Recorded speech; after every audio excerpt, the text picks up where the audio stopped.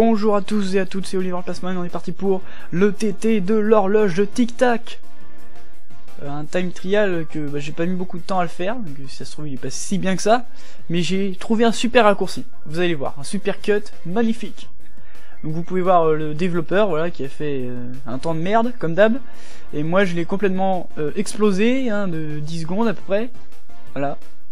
C'est encore une grosse pâtée et cette fois-ci j'ai pris Donkey Kong parce que c'est mon perso préféré et et aussi parce que euh, il a la classe tout simplement. Et vous voyez qu'il a trop la classe avec son euh, l'image que j'ai mis pour la chaîne Oliver Flav. Je sais pas, c'est la nouvelle image que j'ai mise euh, le 2 janvier, je crois. je suis très précis. Et donc voilà, j'ai pris aussi le véhicule de F0 de Captain Falcon. Bon, je sais plus comment il s'appelle exactement, mais c'est pas grave. Euh, puis sinon pour les roues, là vous... Bon je vais vous expliquer après ce, petit cut. Mais pour les roues...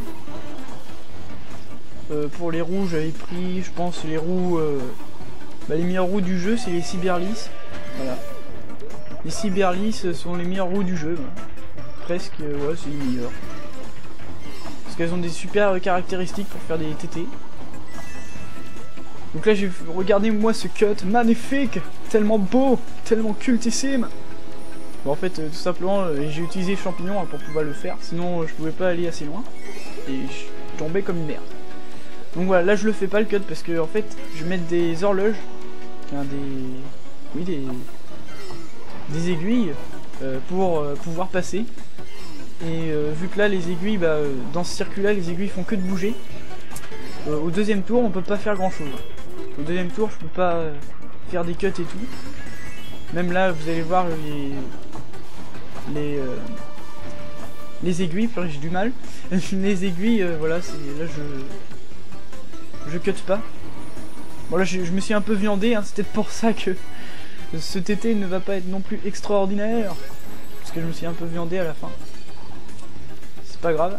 Là, j'ai toujours pas cuté. Je cut qu'une fois sur les l'horloge. Et euh, sinon, euh, sinon là tout simple, je j'ai pas utilisé le speed jump. Des fois je l'utilisais, mais bon. Là je l'ai pas utilisé le speed jump. D'habitude je l'utilise avec euh, ce véhicule, c'est très efficace. Speed jump pour aller plus vite. Voilà, magnifique. Là je, suis allé complètement à gauche.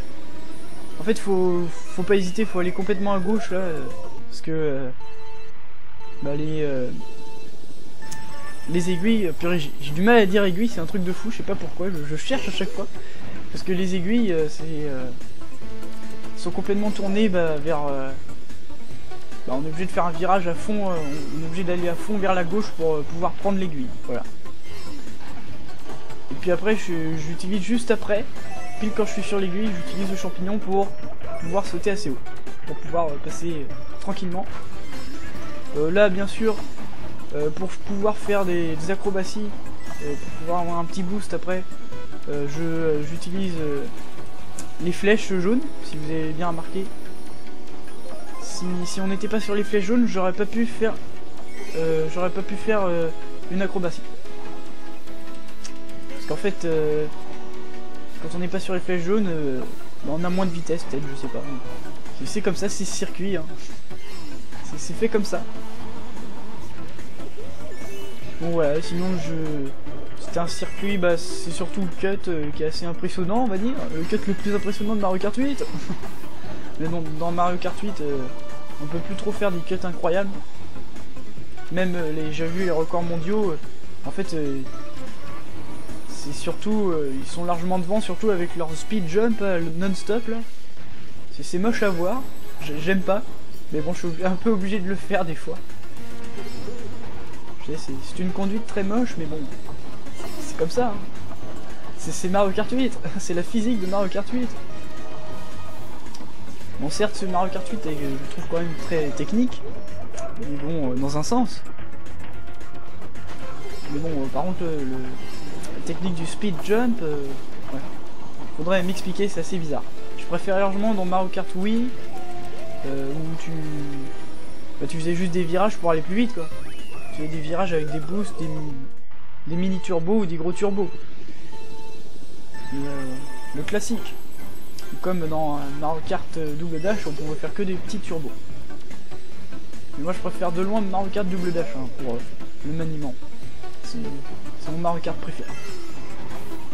Mais sinon, euh, bon voilà, je pense que c'est tout. Je...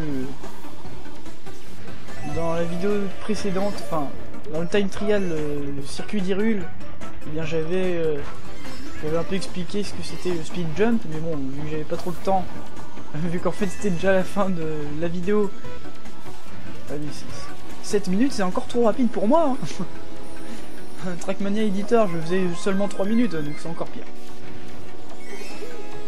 Mais voilà, comme vous pouvez voir, euh, j'ai plus trop grand chose à dire. J'ai un peu tout expliqué à propos du speed jump. Donc certes, c'est une, technique très efficace. On peut aller beaucoup plus vite avec ça. C'est très technique à faire, c'est assez intéressant. Mais à côté de ça, c'est moche à voir. Voilà, c'est pas beau. On dirait carrément que c'est un, speedrunner. Vous savez, les speedrunners, comme par exemple dans Mario Bros, euh, il est obligé de faire du moonwalk pour aller plus vite. C'est moche. Ou des fois de bouger comme un handicapé pour aller plus vite, je sais pas. Pour enlever des frames, vous savez. Pour enlever des quelques animations du personnage pour aller plus vite. je sais pas trop comment expliquer, mais voilà. Allez voir, Cœur de Vandal et Real Bon, sinon, euh, voilà, c'est un circuit, pour tout vous dire, c'est un très bon circuit, ce, cette horloge tic-tac. Ça m'a vraiment fait penser à Mario, à Mario 64. Euh, parce que franchement, euh, ça me fait penser au niveau de l'horloge. Je m'attendais à un circuit difficile, puisque ça, reprend le niveau de l'horloge quand même, c'est pas rien. Mais bon, ce circuit n'est pas très dur. Mais il est quand même sympa à faire. Sur ce, je vous dis à la revoir pour une nouvelle aventure. Et on se retrouve pour un autre TT.